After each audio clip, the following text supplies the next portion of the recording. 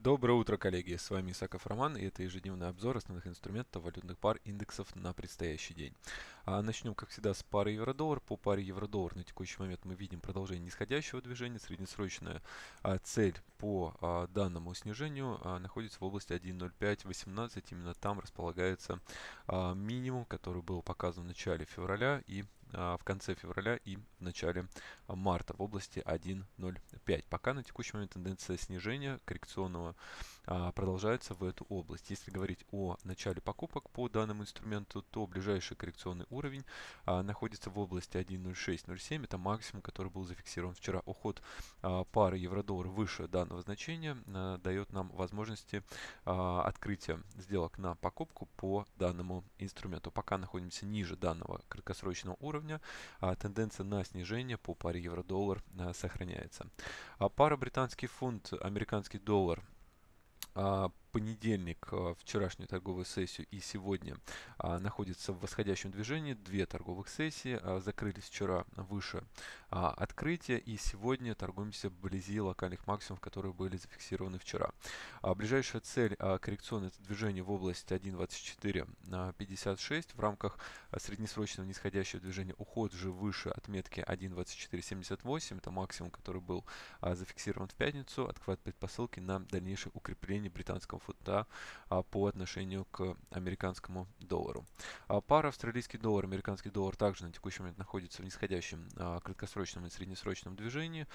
Ближайший локальный максимум отмечен в области 0.7508, это максимум, который был зафиксирован вчера.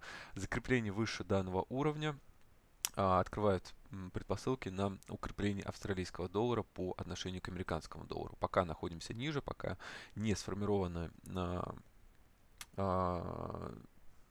пробойные э, свечи по данному уровню, э, тенденция остается на снижении и снижение в область уже локальных минимумов, которые мы можем отметить на э, дневном таймфрейме, движение в область 0.74 46 и следующий уровень уже находится 74.14.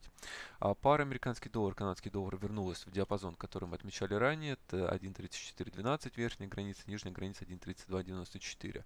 А если мы рассмотрим часовой таймфрейм, то тенденция идет на понижение. Вчерашний день закрыли а, негативно для доллара, закрылись ниже открытия. Сегодня с утра также а, торгуемся еще вблизи а, минимумов, поэтому на текущий момент а, тенденция на снижение в область 1.3297 в краткосрочной перспективе остается в приоритете. Если говорить о покупках, то уход выше 1.3427, максимум, который был зафиксирован а, в пятницу, также вчера в понедельник, открывает предпосылки для начала покупок по данному инструменту. Напомню, что также локальные уровни могут сформироваться а, внутри сегодня сегодняшнего дня, внутри э, завтрашней торговой сессии, но об этом уже будем говорить в наших следующих обзорах. А пара американский доллар и японская иена также продолжает свое нисходящее движение. Вчера закрылись ниже открытия, а сегодня торгуемся уже в области 110.60. А, поэтому краткосрочная тенденция на снижение по паре американский доллар и японская иена также сохраняется. Ближайший разворотный уровень в среднесрочной перспективе находится а, в области 111.57. Именно после преодоления данного уровня мы можем говорить о покупках по данной а, паре. Индекс DAX сегодня с открытия обновил минимум вчерашней торговой сессии, поэтому на текущий момент мы видим краткосрочное продолжение нисходящего да, движения по данной паре. Но тем не менее минимум пока не обновлены, те минимумы, которые были 7 апреля, 6 апреля, пока торгуемся выше, а, остается сценарий на укрепление а, пока еще в силе на движение э, уже к локальный максимум в области 12386. А, хотя важно обратить внимание на то, что сегодня с утра уже локальные минимумы были обновлены. И здесь по данной паре, по данному инструменту нужно обратить на это внимание.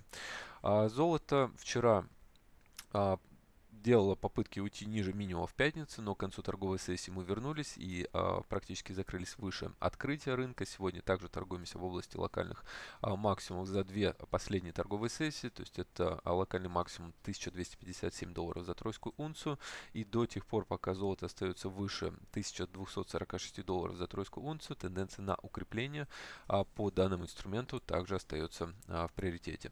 А нефть марки Brent сегодня с утра обновил локальный максимум, что в свою очередь подтверждает продолжение восходящего тренда по данному инструменту. Уход же ниже локальных минимумов в области 55.06, 55 долларов за баррель нефти марки Brent, а, тенденция на укрепление также остается а, в приоритете. А если мы уходим ниже данной отметки, то уже можно говорить о тенденции нисходящей по данному инструменту. Ну и индекс доллара вчера после открытия ушел вниз отметки до отметки 100.87, был а, зафиксировано закрытие ниже а, цен открытия. Соответственно, на текущий момент а, в рамках среднесрочной перспективы тенденция на укрепление индекса доллара остается в силе. Уход ниже отметки 100.87 и закрепление за этим уровнем уже даст предпосылки на начало нисходящего движения по данному